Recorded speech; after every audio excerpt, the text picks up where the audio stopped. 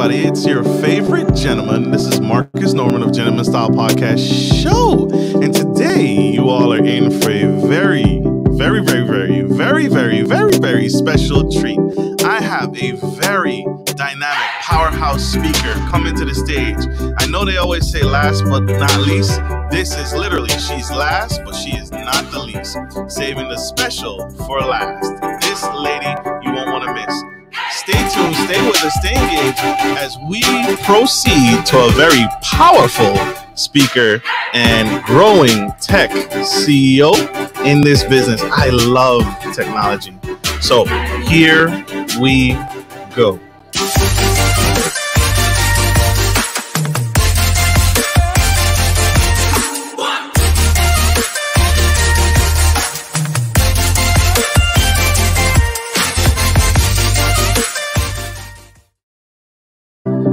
Everybody, it's your favorite gentleman, Marcus Norman of Gentleman Style Podcast Show. And today I am bringing to the stage Miss Trina Martin. She's a technologist, author, speaker, leadership coach, and podcaster.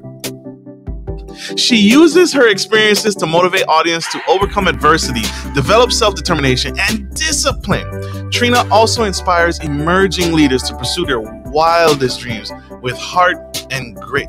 She's an accomplished IT professional and retired U.S. Naval officer with 30 years of service. Thank you for your service. She has broken barriers and made strides in her career that many said weren't possible. And today on Gentleman Style Podcast, she is going to share her story and share her experience and share her overcoming in a space that is predominantly dominated by men. So help me welcome to the stage the incredible, the amazing Trina Martin. Marcus. Welcome, welcome. Thank you for joining us on Gentleman Style Podcast Show. Thank you for having me, Marcus. I'm excited to be here. I'm excited to have you, y'all. One more round of applause, y'all.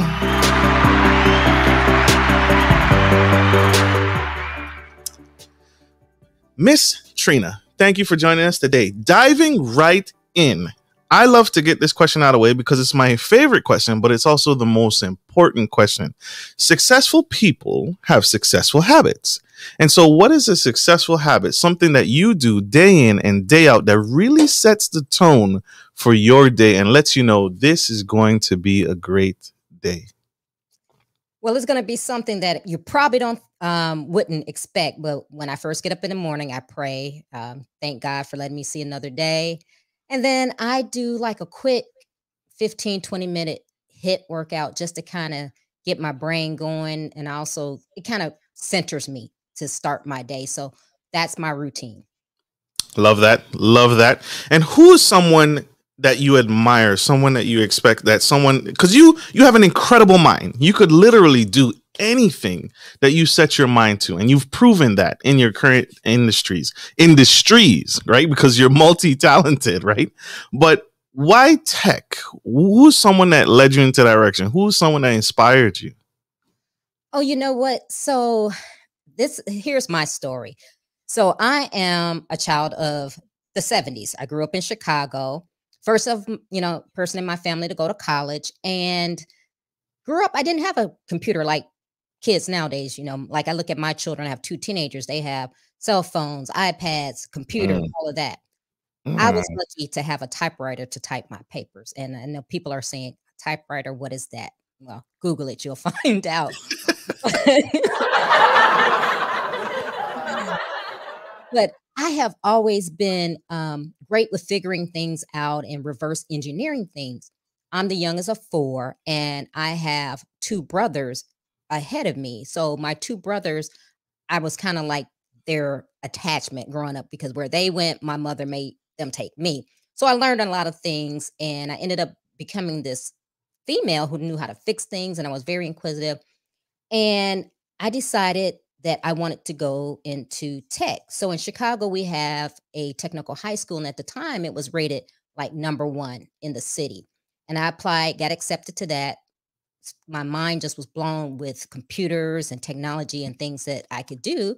So I ultimately went to college and got a degree in computer science and spent 20 plus years in the IT industry, working for some major corporation, programming systems, maintaining those systems, and here we are today. How has that journey been? It could that it must have been flying colors, right? Everything was easy, everything handed to you on a silver platter. What has that journey been like? Oh yeah, it was it was a breeze. No. no, it was not. Um contrary to what people think and and it's funny because I started that journey in the late nine late 80s, early 90s as far as starting my career and I look now back and some of the same things are still going on like being uh, women women of color especially being underrepresented in tech um, being underpaid being undervalued. Those were the things that i personally faced was you know being a woman of color and people thinking that i wasn't smart enough or qualified enough to be in tech where i ended up being like the sole person who was programming and maintaining some multi-million dollar systems for some major corporations. So that lets you know how qualified I was. Um, being underpaid several times. I remember going to supervisors saying, you know, I need a raise because I'm being underpaid. I'm doing X, Y, Z, and the other, and my pay is not matching. And I got every excuse in the book. Oh, well, you know what? If you just do better at your performance for next time, or if you do better here, if you do better there.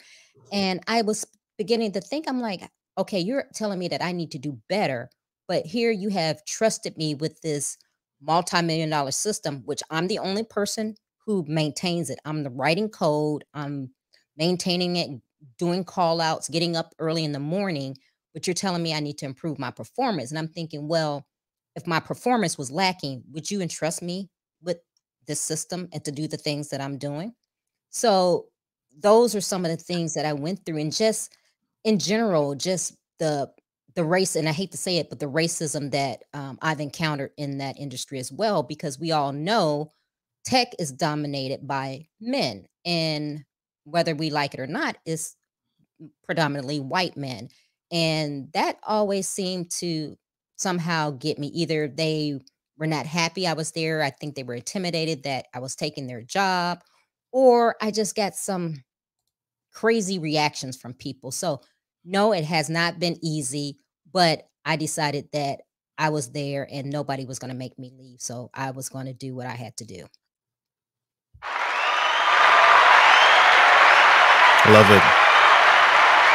Love it, love it, love it as a as a CEO of your own tech company and author, speaker, encourager, and motivator, from what I hear, it sounds like you had a, a, lot of obstacles that many women are facing, but not we're not talking about this, right? We're not talking about it enough.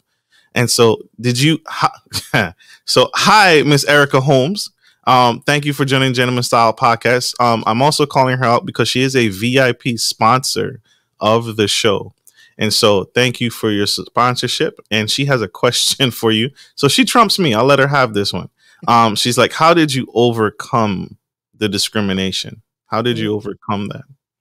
You know, it was just a lot of self-determination. I was fueled by by the by the discrimination. It just made me wanted to work harder and prove that I was there and I belonged there. And one of my um, people that I looked up to and admired growing up was Shirley Chisholm. And I know one of the things she would say is, you know, if they don't have a spot at the table for you, bring your own chair. And basically, that's what I did. And I just kept improving myself, doing things and taking courses that not necessarily were paid for by my company, but things just to improve myself so that I knew when they came to me and they said, Hey, we need you to do this. I was like, Yep, I, I know how to do that. So those were some of the things I did to just stay on top of my game because I knew it was harder for me than the next person.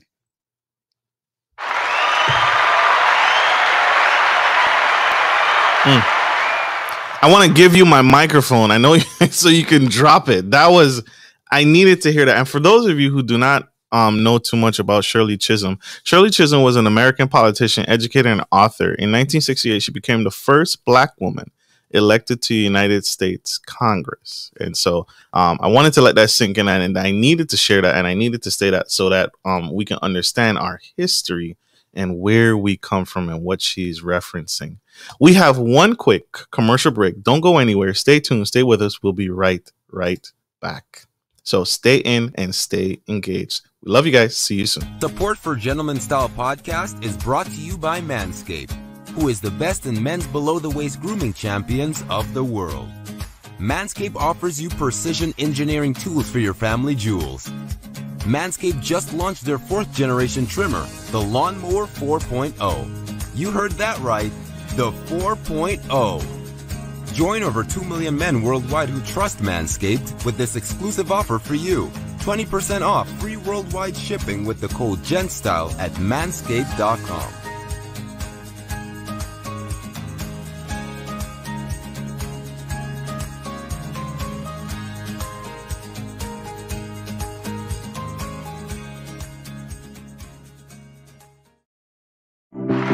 Welcome back to the Gentleman Style Podcast Show. If you are tuning in for the first time, we have the incredible, the amazing, stunning Miss Trina Martin. This woman just shared her story, as a very broad view of what she had to overcome and face in the tech industry and through her career as a tech CEO. And she shared that story, and it was very powerful and impactful. And she shared who inspired her, Miss Shirley Chisholm, who has inspired her and led the way for not only her, but many black women in the same industry and overcoming those obstacles that we all face in our day to day lives. Miss Trina, I have to ask a question. You wrote a book. Can you tell us about the book? Yes, the book is called, and here it is. It's called From a Mess to Amazing Seven Steps to Create the Life You Deserve. And basically, it's half memoir, health, self help, if you want to say that, basically, I talk about my journey through life, some of the things that I went through and how I overcame them and how to help other people. And what inspired me to do this was probably about 10 years ago, I was going through a very dark period in my life. And even though I had accomplished so much at that time, I had just gotten back from a deployment, got a divorce, moved to Texas, had small children. So I was just going through just a plethora of things. It just seemed like my back was against the wall. One thing would come, the other. Then I was dealing with trauma from my past of having an abusive mother. So all of these things culminated, and I was just feeling like a failure. I was like, I feel like a failure at a mother as a mother. I'm feeling helpless. I'm feeling hopeless. Just things. So I went back and I started to document um, what I was going through because I wanted to share this with other women, but men have read the book as well because sometimes we do feel that way and we think the mistakes we've made in our past and just some of the bad decisions we start to take that on and really feel that okay i've done these things and i can't come back from them mm. and mm. i wrote the book because i wanted people to know that your past does not define you um I, like i said i had a past as far as growing up that was not the greatest i've gone through things but I, I had to realize that I'm not my circumstance. And that's what I want people to know. You're not your circumstance and don't give up and give in to your circumstance. So, regardless of the mistakes you made or poor choices, bad decisions, you can overcome them and end up having an amazing life. Mm, mm, mm. We have two follow up questions from our Erica Holmes. Um, she asks, What kind of IT do you handle? Well, Erica, right now in my business, I'm handling secure communication technology. So, with um, the pandemic hitting, and we all know we see ransomware and things like this, cyber attacks that are on the rise. I want to help those small and medium sized businesses use secure communication technology in their operations because it's not a matter of if you get hacked, it's a matter of when. And people who are not like the big corporations like the Googles who don't have an IT department, it could either destroy you or have you down for months. And that can mean losing clients um, and just ruining your business. So I want to help those businesses before it gets to that point and teach them how to operate securely. Mm. So her she has a follow up statement Um, you can or can't answer if you don't want to. She asked, "Do you collaborate with other tech companies?" I would love to. Yes. Absolutely. So there you go. And the name of her book, Miss Erica, you got to tune in. You got to get it. Um, the name of the book, From Mess to an Amazing. It's on Amazon. I just spotted it. It goes on, has several different versions Kindle, audiobook, hardcover, and paperback available now. So check it out. Check it out. Get on it. Get hot. Check out that book. Miss Trina, let me get this out the way. Miss Trina. So you you you touched on your story, you touched on your legacy, you touched on why, the why you do it. And so and the message that you live is powerful. Let's talk it sounded like you had bad leadership. So you've experienced bad leadership. Um, because when you're going to that same supervisor and asking for a raise and asking for a promotion, and they can't necessarily justify what to do with you, that's that encompasses, I think, almost borderline racist. But it's also bad leadership. So how has that changed and changed your trajectory as a leader yourself, leading a tech company, leading a business, author, speaker? How has that affected your leadership? Um, and how do you advise leaders today? You know, that is just the that's the impetus of why I do what I do because of poor leadership. And I've, like you said, I, I'm retired military. So in both corporate and military, I have experienced poor leadership and good leadership. Um, and I try to learn from both of those. So in in my business and in leading and teaching others, I try to help them do things that um, I saw as good leadership. Like you know, one is is having compassion for your people. That's one of the top things. I know a lot of people don't have that mindset. They think, okay, this is my business. I'm the ruler. You do what I want you to do. But everyone, you know, needs compassion. So I'm going to give you an example. I work for a company and my second level boss, or my boss's boss, would see me and say, Hi Trina, how you doing? How are you two boys? I don't have two boys. Mm. So the first time he did it, I said, um, I don't have two boys. Oh, okay, yeah, yeah, yeah. The next time he saw me, he did the same thing. So it just became to a point where I got irritated and I said, you know what? I'm not going to even correct him anymore because it's not that important. Because obviously it's not important to him because he keeps asking me about two boys that I don't have. And that's one of the things. It seems small, it seems minute, but that's something that's very important in leadership is for you to know your people. Now you don't need to know their intimate details if they don't want to share. You know, you don't have to sit and, you know, chuck it up with them, but if you're going to say something like, how are you doing? How are your kids? I would prefer him to say, well, how are your kids? Instead of saying, how are your two boys? When I specifically told him I don't have two boys. So it's just that letter, level of empathy and compassion, just to make your people feel like they're not just a number or only thing you're concerned with is the bottom line. They are human beings. They go through things. And I know with COVID and things going on, people have had loved ones to die. People have lost jobs or don't know how to deal with things. You know, we've had so many things going on in our life in this past year and a half that you just showing an ounce of humanity, like asking somebody, wait, hey, how are you doing? And really taking time to listen. Not, hey, how you doing? And you keep walking, you know, hey, how are you doing? you know, and that's that to me that shows a lot of character so I'm, I'm, big on character and integrity and you know you being a vet as well you know that's something that's very um, pressed upon in the military. So those are some of the first key things that I I coach people on in leadership.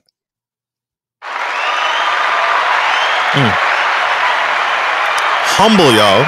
Did y'all hear the humble? You saw how she took that and just took it apart like a brain surgeon. She just like scalpel mm, and dissected that leadership, that poor leadership, and and that's what it is, right? A lot of the lessons, a lot of the things. Um, I'll I'll say it right. A lot of the experiences, a lot of the leadership qualities, um, when I was in the military, um, not all of it was positive, but I learned from it, and all of that sculpted me into the man I am today.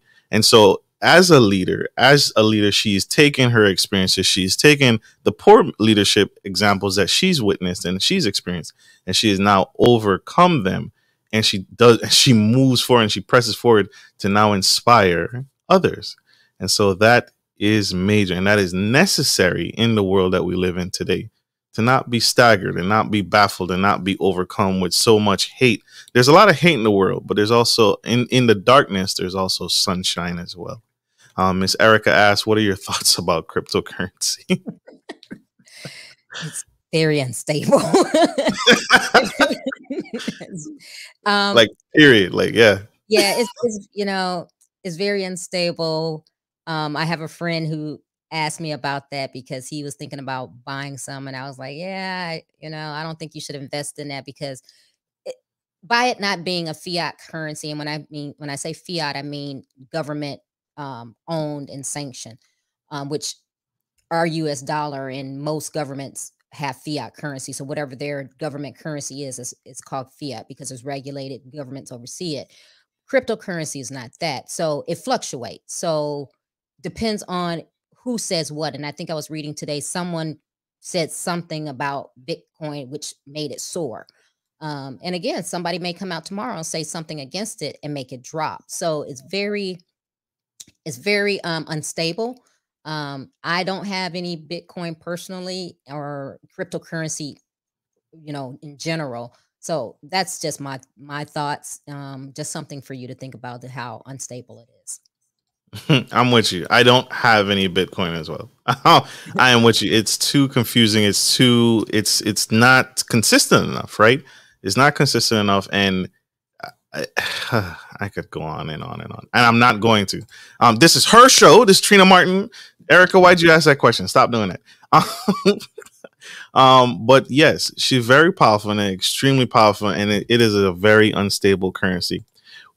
How does it, as a leader, as a leader yourself, as a CEO, um, what advice would you give to the young boy or the young girl or the young man um, out in the audience who is on the fence, right? They're scared, right? And uh, especially the younger, right? She's scared. It looks overwhelming. Science and technology is overwhelming. STEM is a huge field. But what would you what advice would you give to that young girl who is on the fence about getting started in tech? I would say you can do it. I I was you. I was the young girl who I didn't have it modeled for me. I didn't come from like I said I'm a child of the 70s so I didn't grow up with computers in my home. I didn't have anybody that I saw model what I wanted to be. But you can do it. You have a place. You're smart enough. Don't let anyone tell you that, oh, well, there's a lot of math and there's a lot of this and you just can't do it. And don't look at the landscape that you may see before you, which may be all men and all men um, that don't look like you you can do it. Know that you can do it and you deserve a place and a seat at the table. So apply yourself, do whatever it is you have to do, but do it. And that's one of my passions.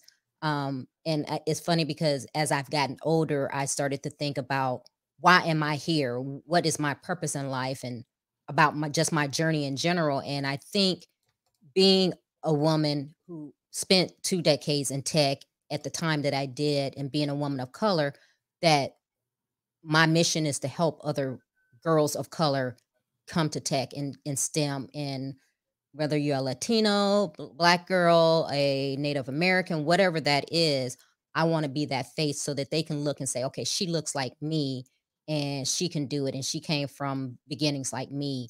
And it's something that I can do.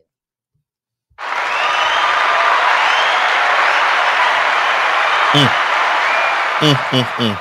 We have one more quick commercial break, y'all. Stay tuned for this powerhouse speaker, Miss Trina Martin. Stay tuned, stay with us, stay engaged. We'll be right, right back. Good day, podcast listeners. This is your boy Marcus Norman of Gentleman Style Podcast Show. I wanted to let you guys know that we will be rolling out a new feature and adding a join sponsor button next to the subscriber button here at the bottom of your screen. Once you click the button, it will display three membership levels. Gentleman Gentry, which is our entry level, Duke Duchess, which is our season level, and the Emperor and Empress, which is our most sophisticated level, which you will receive unique perks and benefits at each differing level and gain access to our community tab. We will also be sharing polls, upcoming events, and interviews, as well as receive feedback from our sponsors directly. Your support helps me find new an exciting guest to bring to the stage live. Well, in order to get the higher end speakers, it requires, well, some, you guessed it, money. So thank you for tuning in to my channel. And if becoming a sponsor sounds good to you, then select the join button below and choose your desired sponsor level. Let's continue to grow and serve the future of generations of men and women to come. Love you guys. Bye.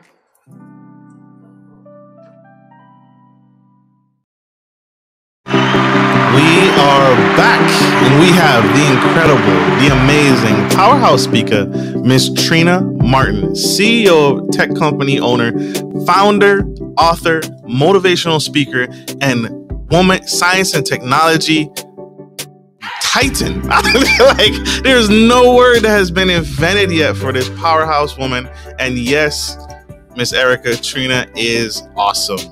Very, very awesome. Miss Trina, how can we support you? How can we get behind you? How can we uplift you and further take you to the next level and and and get behind this movement because you are a movement, right?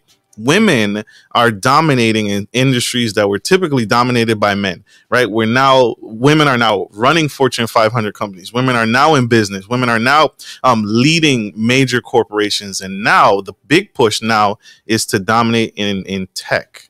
Um, how can we get behind you and support you and uplift you? You know, I am like Erica asked earlier. I am always open to collaborate with other people in tech, especially women, um, doing joint ventures, partnerships, whatever, um, clients. But I also I'm putting together a Girls of Color in Tech um, six week class on Saturdays that I would love to have other women in tech come on and spend an hour on one Saturday and speak to these girls. And I, I wanted to get some sponsors and um, things like that so that I can make this program really good and reach out to those girls who want to get in tech, but um, may have questions and, eh, you know, just questions on what career path they should choose and um, what what are the avenues, what certificates, what degrees, whatever that case may be, things that they don't normally get in other places and just to ask, ask questions and see other women who are in tech. So that's that's my goal and that's a dream of mine.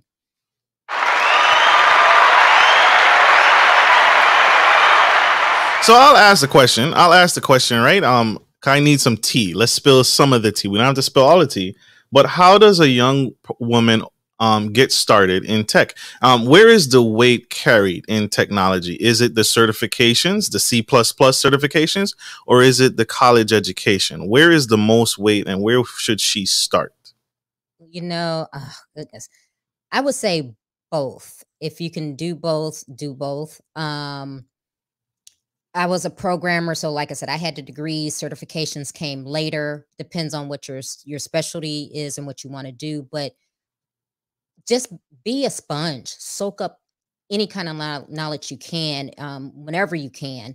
Um, whether it's a degree programs or you're getting certifications here and there. Some certifications are not as expensive as others, um, but they'll they'll all help you. Um, pick up books, go to the bookstore, pick up books, um, learn whatever that new programming language is.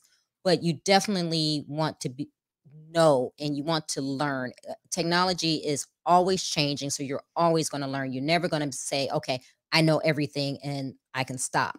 When I was programming in, in in the industry, I was always constantly learning. I was always going to the bookstore, picking up a book on a programming language, finding out new ways to program something or uh, new tools that were coming out. So it's always evolving. So just stay up on all the technology that's out right now. Cybersecurity is a big thing. Um, that's a good route to go, but just really stay up on what's happening and whether it means you get a subscription to a tech magazine um, while you're doing these things, all of that information can help you. Mm. Mm, so I've been put out of a job. So I've been fired. Um, Miss Miss Erica has taken the show. Um, because I have no idea where this is going. But obviously, you two know. Um, what cloud based product do you recommend to small businesses? Ooh, you know, it it depends uh, on what you're doing. I know uh, now Microsoft, and it depends on if you want a whole platform. I know there's um, the Microsoft um, platform, and it just left my brain cells right now. But um, you're fine. you're fine. You know, it's it's Microsoft has it, Amazon has one, Google has one. I think um, Google and the Chrome and Chromebooks. I know my kids school they were pushing that, and with the cloud based services and um, yeah, cloud computing things like that. The whole objective is to be able to work from anywhere, have everything synced up, and it's really it's really um, a benefit if you're if you're a business working, especially if you're a small business and you may not have a big central location and like I said before, an IT department. But if you have people that are working remotely and out on the road for you, it you know it just depends. And if you're talking about messaging or something that people can put on their phone apps, I have some different ones that I like to suggest to people. Um, I personally, like I said, since I decided to deal in secure communication technologies, I always try to um, put those out there. And one of the platforms that I really, really love as far as secure communication is Signal. And it's a messaging app, it's free, but it's encrypted. So if you are a business and you are needing to communicate with your people or whatever, and you want to communicate on the go where you're not sitting at a computer and you're sharing sensitive information and you don't want you know you just don't want to get out and text that or put that in email. Signal is a great application to have an app on your phone where it encrypts your conversation. So if you need to say hey you know employee b i have some information that i need you to have and you're not at your your computer so i'm just going to text it to you signal is a great way to do that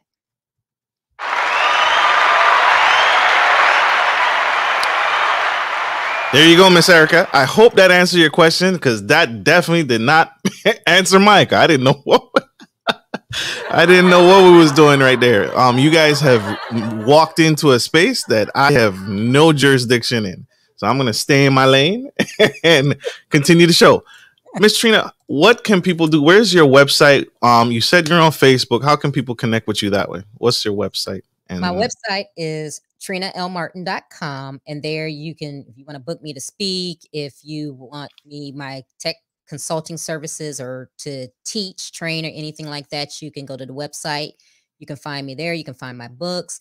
If you want a more instant response, I am big on LinkedIn. I'm I'm usually on that, checking that all the time. So that's a great way to um, communicate with me. That's LinkedIn and her website. She's on LinkedIn. She's excited to connect and she's ready to partnership and always looking to grow. Yes. Miss Trina, this has been a powerful episode. You inspired me um today. You inspired I know you inspired my audience, but you definitely touched me. You definitely inspired me and motivated me to do better and to work harder in leadership and work harder to make sure that I'm always connecting, to always stay supportive and always continuing to grow. I think a lot of times leadership leaders we we get bogged down and we're we're over here and we're up here and we're working so hard that we forget um, to check back in and to check the pulse of our companies and to check the pulse of our people. And so thank you for what you do. And thank you for your service. And thank you for inspiring me today. Thank you, Marcus, for having me. I love the show and love your audience. It was very, you know, very engaging and fun. So thank you for having me. Absolutely. Absolutely. Um, and it looks like you have a new follower um, on LinkedIn. So Erica and you all will connect. Um, so thank you. I want to say this to you publicly. Miss Trina, don't ever quit. Don't ever give up. The world is changed by you. The world is inspired by you and influenced by you every single day. And so, um, on behalf of me and everyone here, I want to say this to you publicly don't ever quit because we need you. We need what you're doing. Absolutely. And thank you, my audience, for tuning into the Gentleman Style Podcast show. I hope this message helps. I hope this inspires. And I hope this helps you take your business, take your business to the next, next level. And if you are on the fence about getting into tech, getting into STEM, You heard it here. You heard it here live. You can do it. So, like I end every show, like I end every connection, take care of your family, take care of your friends, and always, always take care of business. This is Marcus Norman of Gentleman Style Podcast, your favorite host, and Miss Trina Martin, CEO, entrepreneur, author, speaker, and tech CEO, signing off. Love you guys. Bye.